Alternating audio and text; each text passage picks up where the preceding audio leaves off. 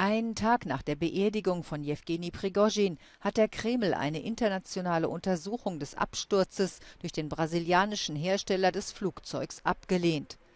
Der Sprecher von Wladimir Putin deutete allerdings an, dass das Flugzeug mit zehn Personen an Bord absichtlich zum Absturz gebracht worden sein könnte.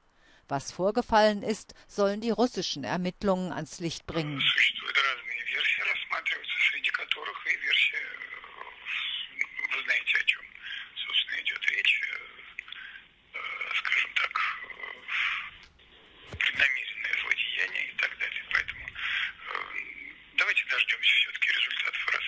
нашего российского расследования, которое ведет Следственный комитет.